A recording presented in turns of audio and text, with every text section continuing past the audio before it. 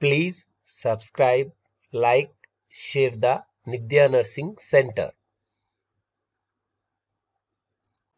Experience సర్టిఫికేట్ని NXR ఇచ్చారు. So దాంట్లో two types అని ఇందాక చెప్పాను నేను. Right so three B three C అనేసి టూ ఉంటుంది. రైట్ అండ్ uh, uh, ఈ త్రీ బి త్రీ సి లో మాత్రమే అదే ప్రొఫార్మర్ తెస్తేనే అది చెల్లుతుంది. లేదంటే వేరే ప్రొఫార్మాలో చెల్లదు. జాగ్రత్త ఎవరైతే ఎక్స్పీరియన్స్ సర్టిఫికేట్ తెచ్చుకుంటున్నారో వాళ్ళు వెబ్సైట్లో ఇచ్చిన ప్రొఫార్మా ఫార్మేట్లో మాత్రమే ఎక్స్పీరియన్స్ సర్టిఫికేట్ చెల్లుతుంది. వేరే ఫార్మేట్లో అయితే ఎక్స్పీరియన్స్ సర్టిఫికేట్ అయితే చెల్లదు. ఆ విషయాన్ని మీరు గుర్తుపెట్టుకోవాలి. దట్ ఇస్ వెరీ ఇంపార్టెంట్ అవుతుంది మనకి. రైట్ ఆ తర్వాత నెక్స్ట్ కంటిన్యూషన్లో కనుక మనం చెక్ చేస్తున్నప్పుడు సో ఆ తర్వాత ఇంపార్టెంట్ పాయింట్ ఇంకేం మాట్లాడుకుంటామంటే సర్టిఫికేట్స్ ఏమేమి ఉండాలనేది మాట్లాడుతున్నట్టయితే మనకి ఎస్ఎస్సి మేమో మనకి ఏదైతే ఉందో ఎస్ఎస్సి మేమో మనకి డేట్ ఆఫ్ బర్త్ ప్రూఫ్ కోసం మాత్రమే యూజ్ చేస్తారని సో దాంట్లో డేట్ ఆఫ్ బర్త్ ఉంటుంది. అంటే ఇప్పుడు నిన్న చెప్పిన విషయంలో ఇంకొకటి కూడా జరిగింది. అది చెప్తాను నేను. ఏజ్ కూడా పెంచే అవకాశం ఉంది. ఇప్పుడు నలభై సంవత్సరాలు ఉంది. ఇంకొంచెం ఎక్కువ ఏజ్ వాళ్ళకు కూడా ఇచ్చే అవకాశాలు అయితే ఉన్నాయి. అది కూడా చెక్ చేద్దాం ఒకసారి. అయితే ఎస్ఎస్సి మెమో మీ దగ్గర ఉండాలి కంపల్సరీ రైట్ సో అది వెరీ ఇంపార్టెంట్ అవుతుంది మనకి ఎస్ఎస్సి మేము రైట్ దానికంటే ముందు ఆధార్ కార్డు కూడా మీ దగ్గర పెట్టుకోవాలి రైట్ సో ఆధార్ కార్డ్ అనేది ఒక కమ్యూనికేబుల్ అడ్రస్కి హెల్ప్ అవుతుంది రైట్ ఐడెంటిటీ ప్రూఫ్ కోసం నేషనాలిటీ ఐడెంటిటీ ప్రూఫ్ కోసం ఆధార్ కార్డు ఉంటుంది. సో ఆధార్ కార్డు పెట్టుకోవాలి. రైట్ ఆ తర్వాత డేట్ ఆఫ్ బర్త్ చెక్ చేసుకోవడం కోసం మనకి డేట్ ఆఫ్ బర్త్ ప్రూఫ్ అనేది మనకి ఎస్ఎస్సి మేము కన్సిడర్ చేస్తారు. అండ్ ఏఎన్ఎం ఎంబీఎస్డబ్ల్యూ రైట్ ఈ రెండు కోర్సులు మీకు తెలుసు. రైట్ ఎవరైతే multipurpose health workers female training ANM training చేశారో సో వాళ్ళకి సంబంధించిన ఏదైతే ఏఎన్ఎం సర్టిఫికేట్ ఉందో అది ఒకసారి చెక్ చేసుకోండి మీరు. మీకు ఏఎన్ఎం సర్టిఫికేట్ ఉంటుంది. ఆ, తెలంగాణ నర్సింగ్ బోర్డు నుంచి. సో ఆ బోర్డు లో ఉండే సర్టిఫికేట్ మీ దగ్గర ఉందా? సో ఉంటే ఆ సర్టిఫికేట్కి సంబంధించిన ఆ సర్టిఫికేట్కి సంబంధించిన ఇన్ఫర్మేషన్ ఇక్కడ మీరు తీసుకోవాల్సి ఉంటుంది. సో ఒకవేళ అది రెన్యువల్ ఫైవ్ ఇయర్స్ అయిపోతుంది దాని లైసెన్స్ ఎవ్రీ ఫైవ్ ఇయర్స్కి దాని లైసెన్స్ అయిపోతుంది. సో ఎవ్రీ ఫైవ్ ఇయర్స్ దాని లైసెన్స్ అయిపోతుంది కాబట్టి మీరు గుర్తుపెట్టుకోవాల్సిన వెరీ ఇంపార్టెంట్ పాయింట్ ఏంటమ్మా అంటే అక్కడ right every five years renewal అయిపోతుంది. కాబట్టి ఎవరైతే రెన్యువల్ చేయించుకోలేదో వాళ్ళు రెన్యువల్ చేయించుకోండి. కావాలంటే మన విద్యా సెంటర్లో కూడా రెన్యువల్ చేస్తున్నాము. మేము అంతకుముందు కూడా చెప్పాము మనము. ఫ్రీ ఆఫ్ కాస్ట్లో రెన్యువల్ ఉంటుంది. సో మీరు ఇక్కడ నుంచైనా రెన్యువల్ చేసుకోండి. లేదంటే కోటిలో డిఎంఏ ఆఫీస్ నుంచి మన నర్సింగ్ కౌన్సిల్ ఆఫీస్ నుంచి కూడా మీరు రెన్యువల్ చేసుకోవచ్చు. కోర్టులోకి వెళ్తే నర్సింగ్ కౌన్సిల్ ఆఫీస్లో కూడా ఉంటుంది. అక్కడ కూడా మీరు రెన్యువల్ చేసుకోవచ్చు. So that will be helpful right and okay ఆ తర్వాత నెక్స్ట్ కనుక మనం చెక్ చేస్తున్నప్పుడు ఇక్కడ. అండ్ uh, ఎవరైతే ఎంపీహెచ్ డబ్ల్యూ చేశారో అది ఇంటర్మీడియట్ నుంచి వాళ్ళు అప్రెంటిషిప్ సర్టిఫికేట్ సబ్మిట్ చేయాలి. లేదు అనుకున్నప్పుడు వాళ్ళకి ఇంకొకటి కూడా ఉంటుంది ఇక్కడ. అప్రెంటిషిప్ సర్టిఫికేట్ సబ్మిట్ చేయడానికి ఉంది ఇక్కడ board of paramedical board of paramedical నుంచి వాళ్ళకి ఒక వొకేషనల్ ట్రైనింగ్ సర్టిఫికేట్ ఇస్తారు. బోర్డ్ ఆఫ్ పారామెడికల్ కూడా రిజిస్టర్ చేసుకొని ఉండాలి. So board of paramedical register చేసుకొని ఉంటే దట్ విల్ బి హెల్ప్ఫుల్ అన్నమాట. అయితే అది కూడా మీరు గుర్తుపెట్టుకోవాలండి. రైట్ ఆ తర్వాత నెక్స్ట్ కనుక మనం చెక్ చేసుకుంటా పోయినప్పుడు ఇక్కడ రైట్ ఎక్స్పీరియన్స్ సర్టిఫికేట్ అండ్ చాలా మందికి ఇది ఐడియా ఉండదు స్టడీ సర్టిఫికేట్ అని చాలా మందికి రైట్ సో uh, దీంట్లో ఫిఫ్టీ ఇయర్స్ ఏజ్ వాళ్ళు కూడా ఉన్నారు అండ్ ఫార్టీ ఇయర్స్ ఏజ్ వాళ్ళు కూడా ఉన్నారు ఏఎన్ఎన్స్ ఈ విషయం మీరు జాగ్రత్తగా గుర్తుపెట్టుకుని ఏంటమ్మా అంటే ఇప్పటికీ మన స్కూల్స్ మనం ఒకటో తరగతి చదివిన స్కూల్స్ ఇప్పటికీ లేవు అనుకుంటా చాలా మందికి మనం ఒకటో తరగతి చదివిన స్కూల్స్ లేవు. కానీ గుర్తుపెట్టుకోండి తొంభై ఐదు శాతం ఇచ్చిన పోస్టులలో తొంభై ఐదు శాతం పోస్టులు అనేవి లోకల్ క్యాడర్ని కొత్త తెలంగాణ తెలంగాణ వచ్చిన తర్వాత కొత్త జీవులు అన్ని ఎలా తయారయ్యాయంటే సో తొంభై ఐదు శాతం పోస్టులు అనేవి లోకల్ క్యాడర్లోనే ఇస్తారు. మన అదృష్టం కొద్దీ ఏఎన్ఎం కూడా జోనల్ పోస్ట్ కిందకే కన్సిడర్ చేశారు. ఇది కూడా జోనల్ పోస్ట్ కిందకే కన్సిడర్ చేశారు. జోన్ వైజే ఇస్తున్నారు కాబట్టి సో అదొక అదృష్టం అని చెప్పొచ్చు మనము.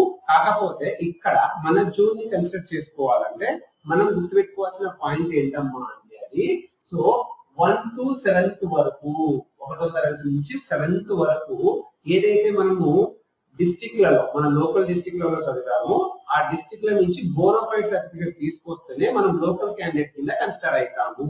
అయితే ఇక్కడ ఒక డౌట్ రావచ్చు. ఏం సార్ అంటే సార్ నేను ఒకటో తరగతి నుంచి రైట్ ఐదో తరగతి వరకు చదివిన స్కూల్ తీసేశారు సార్ ఇప్పుడు. ఆ స్కూల్ లేదు సార్. మరి నా పరిస్థితి ఏంటి సార్ ఇప్పుడు? నేను లోకల్ కింద ఎలా కన్సిడర్ చేస్తారు సార్ అంటే తీసేస్తే ఒకవేళ లోకల్ సర్టిఫికేట్ అంటే లోకల్ సర్టిఫికేట్ అనేది ఒకటి దొరుకుతుంది. అది ఎంఆర్ఓ ఆఫీస్లో దొరుకుతుంది. దానికి సంబంధించిన ప్రొఫార్మా కూడా ఇస్తారు. రైట్ గవర్నమెంట్ దగ్గర దానికి సంబంధించిన ప్రొఫార్మా కూడా ఉంటుంది. సో ఇక్కడ క్లియర్గా ఇచ్చారు. ఏంటమ్మా అంటే for the certificates one to seven claiming the local status local status ఒకవేళ ఈ లోకల్ సర్టిఫికేట్ మీరు బోనఫైడ్ కనుక ఒకటి నుంచి సెవెంత్ వరకు బోనఫైడ్ తెచ్చుకోలేకపోతే ఆ ప్లేస్లో for the candidate who not studying in any school అంటే ఒకటి నుంచి సెవెంత్ వరకు ఆ జూన్లో ఎక్కడ చదువుకోలేదు అనుకోండి రైట్ అప్పుడు ఏం పెట్టాలంటే రెసిడెన్సీ సర్టిఫికేట్ అనేది పెట్టాలి. అక్కడే ఉన్న residency certificate one to seventh corresponding period వరకు రెసిడెన్సీ సర్టిఫికేట్ అంటే అక్కడ నువ్వు చదువుకోకపోయినా కానీ పర్వాలేదు కానీ అక్కడే ఉన్నాం మేము మాది అదే ప్రాపర్ అని చెప్పుకోవడానికి రెసిడెన్సీ సర్టిఫికేట్స్ని అప్లోడ్ చేయాల్సి ఉంటుంది. రైట్? మా లోకల్ పలాని ఆ డిస్టిక్ ఆ మండలమే ఆ ఊరే అని రెసిడెన్సీ సర్టిఫికేట్స్ని అప్లోడ్ చేయాల్సి ఉంటుంది. రైట్?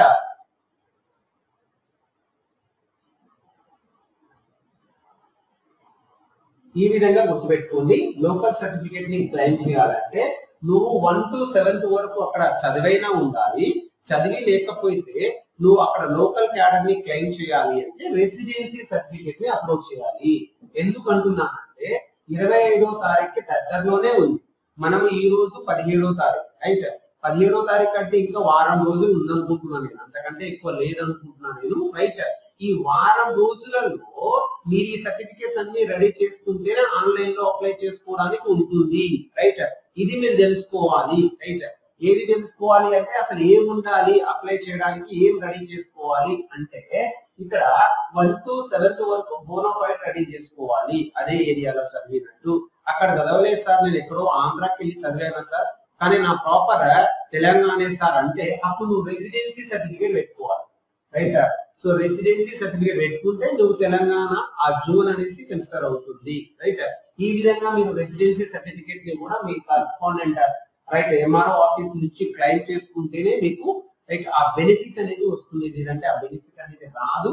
కాబట్టి ఇది రెడీ చేసుకొని పెట్టుకోండి. ఈ సర్టిఫికేట్ని ఎందుకంటే జోనల్ పోస్ట్ కాబట్టి లేదు. నేను పెట్టకపోతే ఏమవుతుంది సార్ అంటే నాన్ లోకల్ కిందికి వెళ్ళిపోతాం అంటే తొంభై ఐదు శాతం పోస్టుల నుంచి కాస్త నువ్వు ఐదు శాతం పోస్టులలో పోయి కాంపిటీషన్లో కూర్చుంటావు. రైట్ కాబట్టి జాగ్రత్త ఉంటే ఒకటి నుంచి సెవెంత్ వరకు బోనఫైడ్ తెచ్చుకో. ఆ జోన్ ఆ ఏరియా నుంచి చదివిన ఊళ్ళో నుంచి. లేదు అనుకుంటే రెసిడెన్సీ సర్టిఫికేట్ తెచ్చుకో. ఈ రెండు అయితే చాలా ఇంపార్టెంట్ అవుతుంది. మన ఫ్రెండ్స్ అందరికి ఫార్వర్డ్ చేయండి. ఎవరికైతే తెలియదు ఇన్ఫర్మేషన్ వాళ్ళందరికీ ఈ ఇన్ఫర్మేషన్ని ఫార్వర్డ్ చేయండి. ఇది చాలా ఇంపార్టెంట్ ఇన్ఫర్మేషన్ అండి. అందుకనే మనకి నోటిఫికేషన్ చాలా ముందే ఇచ్చేసాడు ఎందుకు ఇచ్చేసాడమ్మా అంటే ఇంత తొందరగా నోటిఫికేషన్ ఇచ్చే ఇవ్వడానికి కారణం ఏంటంటే ఒకటే ఒకటి అప్లికేషన్ చేసేటప్పుడు అన్ని సర్టిఫికేట్స్ని సరిగ్గా చూసుకొని అప్లై చేయాలి. అప్పుడు మాత్రమే ఆ అప్లికేషన్ అనేది ఎలిజిబిలిటీ అవుతుంది. లేదు అనుకుంటే అప్లికేషన్ రిజెక్ట్ అవుతుంది. సో చాలా మంది అప్లికేషన్స్ రిజెక్ట్ అయ్యే అవకాశాలు ఇక్కడే ఉన్నాయి. ఎందుకంటే మనకు తెలియదు కాబట్టి ఆ ఇన్ఫర్మేషన్ మనకు రాదు కాబట్టి మనం అన్ఫార్చునేట్లీ ఎప్పుడైతే మిస్టేక్ చేస్తామో అప్పుడు మనకి ఇలాంటి ప్రాబ్లమ్స్ అనేవి రేస్ అయ్యే అవకాశాలు ఉన్నాయి కాబట్టి జాగ్రత్తగా గుర్తుపెట్టుకోండి ఇలాంటి ఇన్ఫర్మేషన్ అయితే. ఆ తర్వాత ఒకవేళ మీరు రిజర్వేషన్ క్యాండిడేట్స్ అయితే so SC ST BC EBC W right and EWS ఇలాంటి వాళ్ళు ఉంటే మీరు కాంపిటేటివ్ అథారిటీ నుంచి సో క్యాస్ట్ సర్టిఫికేట్ తీసుకోవాలి. క్యాస్ట్ సర్టిఫికేట్స్ అనేవి పాతదున్నా చెప్తుంది. లేదంటే కుదిరితే లేటెస్ట్ తీసుకోండి ఇంకా వారం రోజులు టైం ఉంది కాబట్టి ఈ రోజు అప్లై చేసిన మీ సేవలో క్యాస్ట్ అనేది వస్తుంది. సో ఎస్సీ ఎస్టీకి ఎస్సీ ఎస్టీకి క్యాస్ట్ ఉంటే సరిపోతుంది. కానీ బీసీకి మాత్రం ఒకటి ఎడిషనల్ సర్టిఫికేట్ ఉంటుంది. దాని పేరు ఏందమ్మా అంటే నాన్ క్రిమి లేయర్ సర్టిఫికేట్ ఎవరైతే బీసీలో క్యాస్ట్లో ఉన్నారో బీసీ ఉన్న వాళ్ళు ఇది గుర్తుపెట్టుకోండి. బీసీ క్యాస్ట్ ఉన్న వాళ్ళలో లేటెస్ట్ నాన్ క్రీమీ లేయర్ పాతది కూడా పనికిరాదు. లేటెస్ట్ నాన్ క్రీమీ లేయర్ అనే సర్టిఫికేట్ని మీరు తీసుకొస్తేనే మీరు దాన్ని ఈ బీసీ రిజర్వేషన్ని క్లెయిమ్ చేయగలుగుతారు. అదర్వైజ్ మీరు మళ్ళీ ఓసీలోకి వెళ్ళిపోతారు. మళ్ళీ చెప్తున్నా రైట్ ఇక్కడ ఇంకొక జాగ్రత్త ఇది బీసీ వాళ్ళకి బీసీ వాళ్ళు ఎవరైతే ఉన్నారో లేటెస్ట్గా నాన్ క్రీమీ లేయర్ సర్టిఫికేట్స్ని రెడీ చేసుకోండి. ఈ లేటెస్ట్ నాన్ క్రీమీ సర్టిఫికేట్ అనేది మనకి హెల్ప్ అవుతుంది. సో లేదు మనం అది తీసుకోలేకపోయినట్టయితే మనము బీసీ కాస్త ఓసీ అయిపోతుంది. ఓపెన్ కేటగిరీలోకి వెళ్ళిపోతారు. సో కాబట్టి రిజర్వేషన్ విషయంలో గుర్తుపెట్టుకోండి. అండ్ ఇంకోటి కూడా చెప్తాం. ఇది బీసీ వాళ్ళకి. అండ్ ఎస్సీ ఎస్టీ వాళ్ళు ఓన్లీ క్యాస్ట్ సర్టిఫికేట్ సరిపోతుంది. ఇంకేం అడగరు. క్యాస్ట్ సర్టిఫికేట్ లేటెస్ట్ కుదిరితే తీసుకోండి. లేదంటే వన్ టూ ఇయర్స్ బ్యాక్లో ఉన్నా కానీ నడుస్తుంది అది. కానీ ఇంకొకటి గుర్తు పెట్టుకోండి అది బీసీ వాళ్ళకి చెప్పిన. ఈడబ్ల్యూఎస్ వాళ్ళు కొత్తగా ఇప్పుడు టెన్ పర్సెంట్ రిజర్వేషన్ వచ్చింది ఈడబ్ల్యూఎస్ ఇది గుర్తు పెట్టుకోండి అమ్మా. ఎవరైతే ఓసీ ఉండి ఓసీ క్యాస్ట్ ఉండి వాళ్ళు ఎకనామికల్గా వీకర్స్గా అయినట్టయితే economical weaker section right economical weaker section వాళ్ళు అంటే ఓసీలు వాళ్ళు రావచ్చు రెడ్యూస్ కావచ్చు కానీ ఫైనాన్షియల్గా వీక్ అనుకుంటే వాళ్ళకి ఈడబ్ల్యూఎస్ అనే సర్టిఫికేట్ ఇష్యూ చేస్తుంది. దీని ద్వారా మీరు ఓసీలు కొట్టాల్సిన పోస్ట్ కాస్త స్పెషల్గా టెన్ పర్సెంట్ రిజర్వేషన్లో కొట్టొచ్చు. సో ఈసారి నోటిఫికేషన్లో రెండే రిజర్వేషన్లు చేంజ్ అయ్యాయి. సిక్స్ పర్సెంట్ ఉన్న ఎస్టీ కాస్త సిక్స్ పర్సెంట్ ఉన్న ఎస్టీ కాస్త టెన్ పర్సెంట్ ఎస్టీ గా రిజర్వేషన్ వచ్చింది. అంటే ఆరు పోస్టులు కాస్త పది పోస్టులు అయ్యాయి ఎస్టీ వాళ్ళకి. అండ్ ఎడిషనల్గా కొత్తగా అంతకుముందు లేనికి కొత్తగా ఏందమ్మా అంటే ఈడబ్ల్యూఎస్ వాళ్ళకి పది శాతం పోస్టులు అంటే ఇచ్చిన పోస్టులలో ఒక వన్ ఫిఫ్టీ సెవెన్ పోస్టులు ఇంకొక వన్ ఫిఫ్టీ సెవెన్ పోస్టులు రైట్ సో ఇక్కడ స్పెషల్గా వచ్చాయని చెప్పేసి మనం చెప్పుకోవచ్చు. కాకపోతే ఓసీలో ఉన్న వాళ్ళు ఎవరైతే ఉన్నారో వాళ్ళు ఓసీలు కానీ కాకుండా ఇన్కమ్ క్యాస్ట్ రెండు సబ్మిట్ చేయాల్సి ఉంటుంది. దట్ ఈస్ వెరీ ఇంపార్టెంట్ గుర్తుపెట్టుకున్నామా? వాళ్ళు ఏందమ్మా అంటే ఇన్కమ్ అండ్ అసెట్ సర్టిఫికేట్ ఇది అప్లై చేసుకోవాలండి. Income and asset right asset certificate apply చేసుకోవాల్సి ఉంటుంది. ఈడబ్ల్యూఎస్ వాళ్ళు. వాళ్ళు టెన్ పర్సెంట్ రిజర్వేషన్ని క్లైమ్ చేయొచ్చు. స్పెషల్ కోటా కింద వాళ్ళు కూడా సెలెక్ట్ అవుతారు.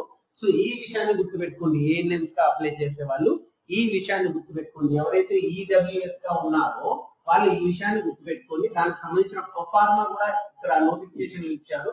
సో మీరు ఎంఆర్ఓ ఆఫీస్కి వెళ్ళినా కానీ సేమ్ ప్రొఫార్మా ఉంటుంది. సేమ్ ప్రొఫార్మా మీ సేవ నుంచి తీసుకోవచ్చు. టెన్ పర్సెంట్ రిజర్వేషన్ అనేది క్లైమ్ అవుతుంది. ఎవరైతే అంతకుముందు ఓసీలు అనుకుంటున్నారో వాళ్ళకి ఈడబ్ల్యూఎస్ సర్టిఫికేట్ ఎలిజిబిలిటీ ఉంటుంది మీరు తీసుకోవచ్చు. ఈడబ్ల్యూఎస్ సర్టిఫికేట్ కూడా మీరు తీసుకోవచ్చు. రైట్. అండ్ పిహెచ్ రిజర్వేషన్ ఉన్న వాళ్ళకైతే మీకు తెలుసా ఆ సర్టిఫికేట్ పేరు దాని పేరు. రైట్. సదరం సర్టిఫికేట్ అది ఎవరికైతే ఓల్డ్ ఉన్నారో వాళ్ళు మళ్ళీ ఒకసారి న్యూ గా తీసుకోండి కుదిరితే మాత్రం. రైట్. అండ్ ఎన్సిసి వాళ్ళు ఉంటే ఎన్సిసి సర్టిఫికేట్ సార్. అయితే ఇదంతా రెడీ పెట్టుకోవాలంటే మీరు ఇప్పుడైతే రేపు ఇరవై ఐదో తారీఖు ఇది ఓపెన్ అవుతుంది కాబట్టి ఇవన్నీ మీరు గుర్తుపెట్టుకోవాలి. ఇవన్నీ మీరు గుర్తుపెట్టుకున్నట్టయితే సో మీకు మాక్సిమం బెనిఫిట్ అనేది ఉంటుంది. ఒకవేళ ఎవరైనా సర్వీస్ గవర్నమెంట్ సర్వీస్లో ఉన్నట్టయితే గవర్నమెంట్ సర్వీస్లో ఉన్నట్టయితే వాళ్ళకి ఏజ్ రిలాక్సేషన్ క్లైమ్ చేసుకోవడానికి వాళ్ళు కూడా సర్వీస్ సర్టిఫికేట్ని అప్లోడ్ చేయాల్సి ఉంటుంది. ఏజ్ రిలాక్సేషన్ క్లైమ్ చేసుకోవడానికి. అండ్ ఇక్కడ మీరు గుర్తుపెట్టుకోవాల్సింది ఏమమ్మా అంటే ఒక అప్లికేషన్కి సంబంధించిన ఫోటో అది కూడా JPG format right JPEG format PNG ఫార్మెట్లలో save చేసుకోవాలి. పీడిఎఫ్ ఫార్మెట్ అనేది చెల్లదు. లేక పీడిఎఫ్ ఫార్మెట్లో సేవ్ చేసుకోకూడదు. ఇమేజ్ ఫార్మెట్లోనే ఇమేజ్ ఫార్మెట్లోనే మనం సేవ్ చేసుకోవాల్సి ఉంటుంది. సో కాబట్టి ఆ విషయం కూడా మీరు గుర్తుపెట్టుకోండి. రైట్ సో నెక్స్ట్ కనుక అప్రెంటిషిప్ సర్టిఫికేట్ కూడా మీకు ఎలా ఉండబోతుంది? అసలు ఈ సర్టిఫికేట్లు అన్ని ఎలా ఉంటాయి అనేది నేను మీకు విజువల్గా చూపిస్తాను. ఆ సర్టిఫికేట్ కూడా ఇప్పుడు ఇది అయిపోయిన తర్వాత నేను సర్టిఫికేట్ కూడా చూపిస్తాను అప్రెంటిషిప్ సర్టిఫికేట్ ఎట్లా ఉంటుంది చూడడానికి? అండ్ పారామెడికల్ బోర్డ్ సర్టిఫికేట్ ఎట్లుంటుంది చూడడానికి?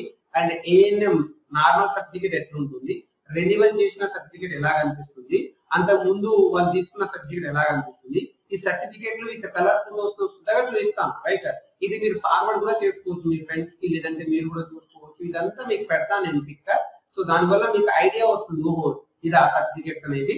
ఆ సర్టిఫికేట్లు అంతా ఒక సెట్ మీకు అప్లోడ్ చేస్తాను ఇప్పుడు. సో అప్లోడ్ చేయాల్సిన సర్టిఫికేట్ ఇవి అని చెప్పేసి మీకు కూడా ఒక సెట్ ఇస్తాను. దాన్ని మీరంతా ఫార్వర్డ్ చేసుకోవచ్చు అప్లై చేసేటప్పుడు. అవి ఉన్నాయా లేవా అనేసి మీరు రెడీ పెట్టుకోవాలి. సో అవన్నీ మీకు నేను గైడ్ చేస్తా ఉంటాను. అప్లికేషన్ ఎండ్ అయ్యేంత వరకు మీ అప్లికేషన్ మొత్తం ప్రొసీజర్ నేను గైడ్ చేస్తా ఉంటాను. దాని గురించి మీరు టెన్షన్ తీసుకోవాల్సిన అవసరం లేదు. డే బై డే మీకు గైడ్ చేస్తా ఉంటాను. మీకు ఎవరికైనా డౌట్స్ ఉంటే మీరు విద్యా సెంటర్ డైరెక్ట్ వచ్చేసి ఇక్కడే అప్లై చేసుకోవచ్చు. మనకి ఇక్కడ ఇరవై సిస్టమ్స్ ఉన్నాయి.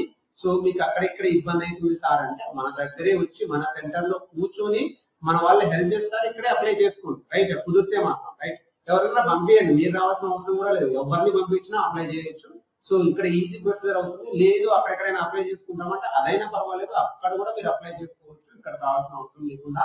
రైట్ కాకపోతే అన్ని రెడీ చేసుకొని పెట్టుకోండి. జాగ్రత్త. ఏది మిస్ అయినా కానీ రైట్ అప్లికేషన్ అనేది ఇన్కంప్లీట్ అవుతుంది. కాబట్టి గుర్తుపెట్టుకోండి ఇన్కంప్లీట్ అప్లికేషన్ అనేది రిజెక్ట్ అయ్యే అవకాశం ఉంది కాబట్టి రైట్ సో అది చెప్పాడంటే అప్లికేషన్ ప్రాసెస్ అనేది క్వాలిఫికేషన్ ఫీ బి